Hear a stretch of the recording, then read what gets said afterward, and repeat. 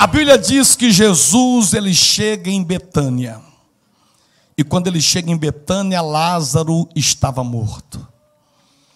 E Lázaro morto, Jesus, ele diz assim: para Marta que chorava, João 11, 23, ele diz: Declarou-lhe Jesus: Teu irmão há de ressuscitar. E quando Marta ouve isso, garoto, garoto, senta aí por favor. Quando Marta ouve isso, o que que Marta diz? Eu sei, Jesus, ele vai ressuscitar lá na ressurreição, daqui um milhão, daqui dois milhões de anos. Tudo bem, é quando os mortos ressuscitarem. Mas Jesus vira para Marta e fala: Olha no verso de número 24, Marta dizendo isso. Eu sei, Jesus, replicou Marta, que ele há de ressuscitar na ressurreição do último dia. Mas Jesus, ele vira para Marta e fala: Nada disso, Marta. Ele vai ressuscitar é hoje. Não é daqui um milhão de anos. A fé de Marta era para Jesus ressuscitar era para Lázaro ressuscitar só na ressurreição dos últimos dias. Mas a fé de Jesus é para Lázaro ressuscitar naquele dia ainda. Deus te trouxe aqui para te dizer isso. Abra mão da fé de Marta e mergulhe na fé de Jesus. Até o dia 31 de dezembro tem milagre para acontecer na tua vida. Quem está orando comigo três horas da madrugada? Você pode ter certeza que você vai viver isso porque é a palavra que diz. Hoje nós entramos no vigésimo nono dia de oração. Olha como o tempo passa. Diga para o seu irmão: essa oração não é para quem quer, fala para ele. Essa oração é só para quem é forte. Irmão, sabe o que é você bombardear três horas da manhã o céu?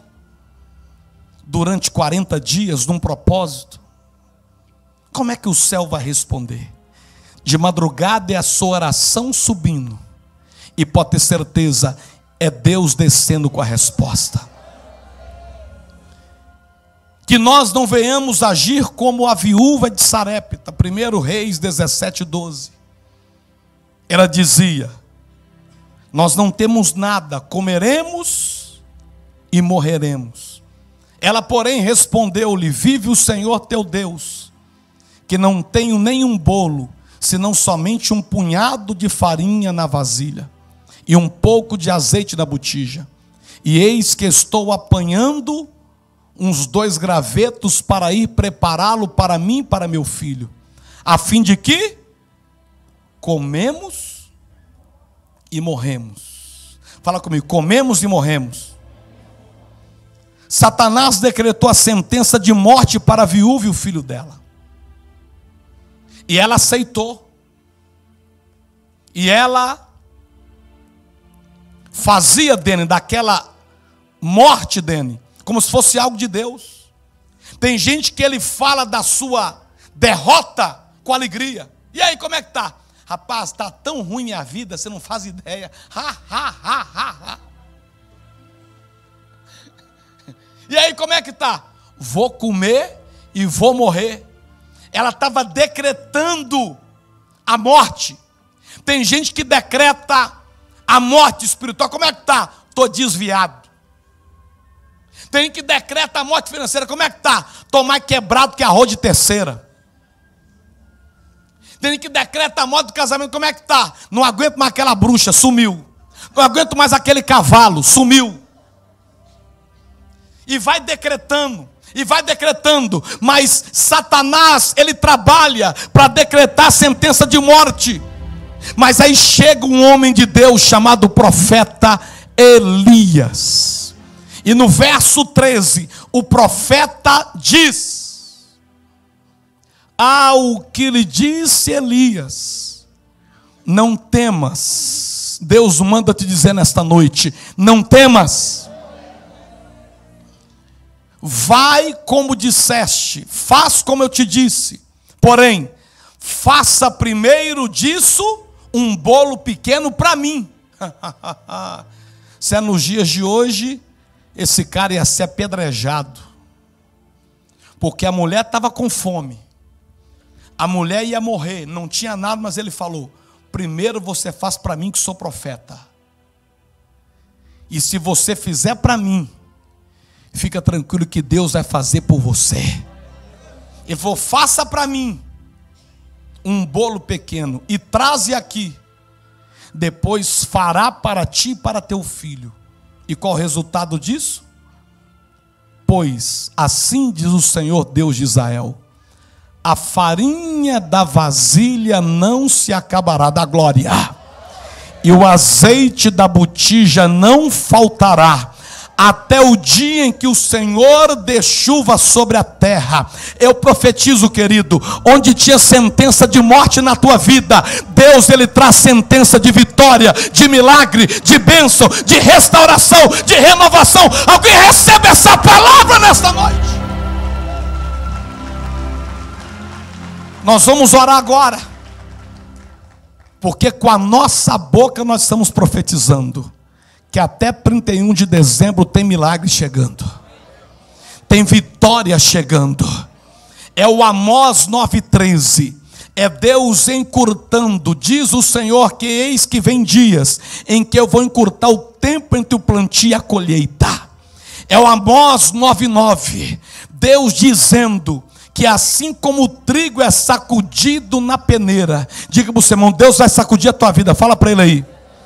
Deus vai pegar aqui, ó, o trigo e ele vai sacudir na peneira. Ele vai sacudir tua conta bancária da glória. Ele vai sacudir as suas emoções, Ele vai sacudir a tua fé, Ele vai sacudir. Segura na mão do teu irmão, diga assim: sacode essa alma, Senhor. De pé no seu lugar para a gente orar. Oh, rebassori me andarai. Oh, tem milagre chegando, você toma posse. Tem vitória chegando, você toma posse. De mãos dadas agora, por favor. Segure na mão desse que vai profetizar com a boca que até 31 de dezembro tem milagre chegando. Pergunta para o seu irmão: você está na fé de Marta ou na fé de Jesus? Agora responde para ele. Segunda pergunta. Você está na fé da viúva de Sarepta que falou que vai comer e vai morrer? Ou você está na fé do profeta Elias que disse que vai sobrar azeite harabassorianda? É forte demais, Judas. Satanás quer que você diga igual Marta: um dia, quem sabe vai acontecer, mas Deus quer que você fale igual Jesus: é hoje ainda que Lázaro ressuscita. Satanás quer que você fale igual aquela viúva. Eu não tenho nada, vou comer, vou morrer, a vida acabou, não tem mais jeito. Mas Deus quer que você fale igual Elias. Eu estou decretando que vai sobrar azeite, vai sobrar farinha. Eu estou decretando até 31 de dezembro. Tem milagre chegando. Feche os seus olhos agora, feche os olhos, os homens começam a dar glória, as mulheres começam a dar aleluia. Abra a boca e ora, igreja, como o barulho de muitas águas. Abra a boca e ora, meu Deus e meu Pai. Desta noite nós oramos como uma igreja viva, como uma igreja que crê da glória, igreja. Eu profetizo até 31 de dezembro um grande milagre na sua vida em nome de Jesus. Um, eu profetizo até 31 de dezembro um grande milagre em nome de Jesus. Dois, eu profetizo até 31 de dezembro um grande milagre em nome de Jesus. Três, levanta a mão do teu irmão, solta a tua mão agora.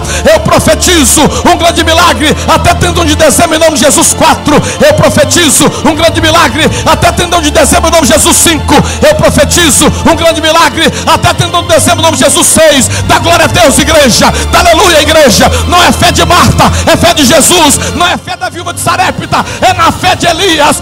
Eu profetizo até 31 de dezembro um grande milagre, uma grande vitória, uma grande bênção. Em nome de Jesus, sete.